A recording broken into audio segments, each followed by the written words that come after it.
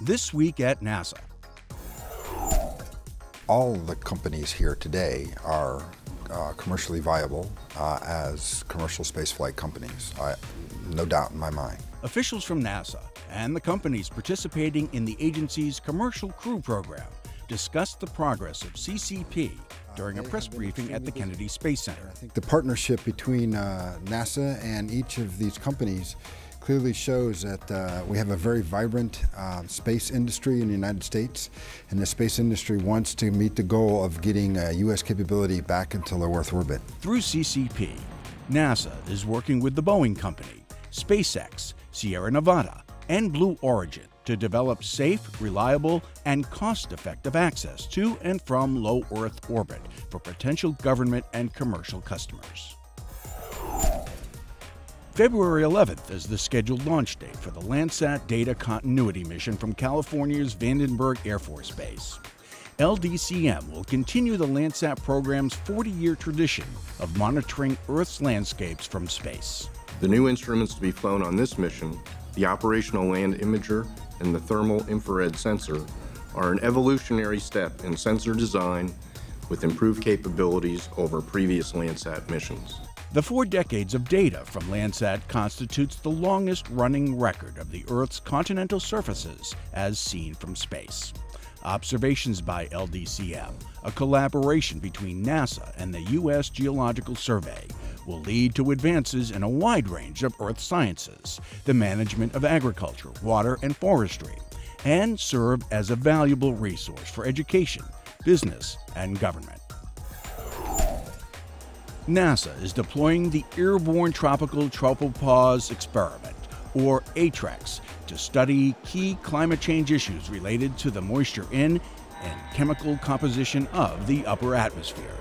NASA's remotely controlled long range Global Hawk aircraft will take measurements in the Pacific Ocean's tropical tropopause, a layer of the atmosphere between 40,000 and 60,000 feet above sea level. Our experiment is designed to look at processes that can affect global change, specifically the process of changes in the stratospheric water vapor, which we know can affect global change, which we know can affect uh, the overall temperature of the surface. New findings by NASA missions headlined the news at the 2013 meeting of the American Astronomical Society in Long Beach. Among them, the discovery by the Kepler spacecraft of 461 new planet candidates. Four of the potential new planets are less than twice the size of Earth and orbit in their sun's habitable zone. That's the region where liquid water might exist on the surface of a system's orbiting planet. Since the last Kepler catalog was released last February, the number of candidates scientists have discovered in the Kepler data has increased 20% and now totals more than 2,700 potential planets orbiting more than 2,000 stars. Meanwhile, two new images from the X ray eyes of NASA's Nuclear Spectroscopic Telescope Array, or NuSTAR. The first reveals the brilliant glow, seen in magenta, of two black holes lurking inside IC 342, a spiral galaxy 7 million light years away. More than 10 times brighter than stellar mass black holes in our own galaxy. The brilliance of these ultraluminous X ray sources, or ULXs, is a mystery astronomers believe NuSTAR can help solve. Also captured by NuSTAR, the first resolved image ever of the historical supernova remnant Cassiopeia A. Light from the stellar explosion that created Cassiopeia A took 11,000 years to reach Earth. While the star is long dead, its remains are still bursting with action. The outer blue ring is where the shock wave from the supernova blast is slamming into surrounding material, whipping particles up to within a fraction of a percent of the speed of light. NuSTAR observations should help solve the riddle of how these particles are accelerated to such high energies. Hello, I am Justin Lin, Mobility Downlink for the Mars Science Laboratory mission, and this is your Curiosity rover report. Over the winter holidays, Curiosity was parked at a location dubbed Grandma's House at Yellowknife Bay. At this location, Curiosity took a series of images to create panoramas of the surrounding area. In addition, the team downloaded as much data as possible from Curiosity to free up the onboard data storage space to give her a fresh start to the new year. Once the new year approached, Curiosity was ready to spin her wheels and stretch her arm. She started off with a three meter drive to an interesting feature called Snake River. Over time, dust has accumulated on all the rocks, and it hides features such as fissures, inclusions, or pits that are of interest. At this location, the team selected a rock for the first time use of the dust removal tool. The tool has a set of spinning metallic brushes, and this allows for the features to be exposed for unobstructed APXS or ChemCam observations. While these activities are taking place, the team is searching for a suitable rock to test out the rotary percussive drill. This is a very exciting activity because it will be the first time that we will be drilling into a rock, acquire a sample from deep within the rock, and also sort and transport it to the science instruments on board Curiosity. This has been your Curiosity Rover Report. Please check back for more updates. The 2013 season of FIRST Robotics is underway. This year's international student competition that combines the excitement of sports with the rigors of science, technology, engineering, and math kicked off on NASA TV from Manchester, New Hampshire. The show revealed details of this upcoming season's challenge, Ultimate Ascent, involving flying frisbees and pyramids. All teams competing in FIRST for inspiration and recognition of science and technology get the exact same kit of parts with which to build their robots. Here's what happened at regional kickoff events sponsored by NASA Centers. In Cleveland, building anticipation among more than 150 students from 24 Northeast Ohio high schools as they learned about the Ultimate Ascent at their event sponsored by the Glenn Research Center.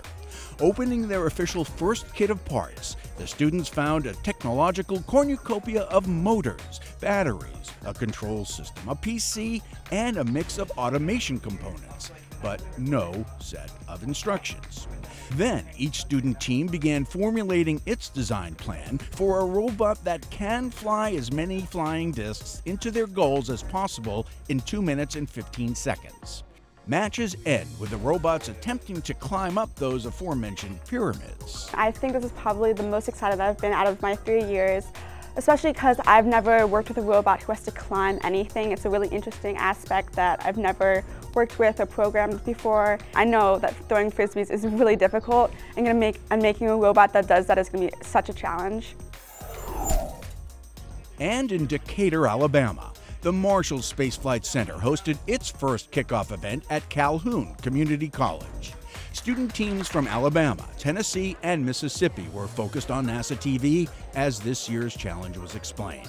And almost immediately after getting the details and their robot kits, teams began thinking about the best robot design for this season's challenge. We are really excited with this year's challenge. We look forward to seeing the discs fly and the points add up.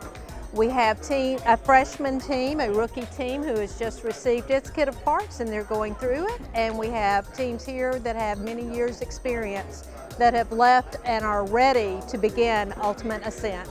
The winners of more than 30 regional competitions will face off at the FIRST Championships, scheduled for April 24th through 27th in St. Louis. The main engine's up and running. Three, two, one, booster ignition, and liftoff of the Space Shuttle Atlantis on a 10-day mission to dock with Russia's orbiting outpost. Following its launch from the Kennedy Space Center 16 years ago on January 12, 1997, Atlantis became the fifth space shuttle to dock with the Mir space station. During the five days of STS 81's docked operations, the shuttle and station crews transferred nearly 6,000 pounds of water, U.S. science equipment, and Russian logistical equipment from Atlantis to Mir. The 10 day mission brought home astronaut John Blaha after a 118 day stay aboard the Russian complex. Among the seven person Atlantis crew was John Grunsfeld, now serving as head of NASA's Science Mission Directorate.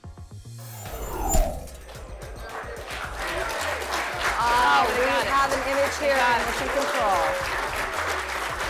And seven years ago, on January 15, 2006, the return capsule from NASA's Stardust spacecraft landed in the Utah desert, completing its 2.9 billion mile round trip journey to collect dust samples from the tail of Comet Wild 2. Research done on these particles revealed surprises, including the sample's closer resemblance to a meteorite from an asteroid than that of an ancient comet. Stardust is the first spacecraft to make it back to Earth with a comet's dust particles in tow. And that's This Week at NASA. For more on these and other stories, or to follow us on Google, Plus, Flickr, and other social media, log on to www.nasa.gov.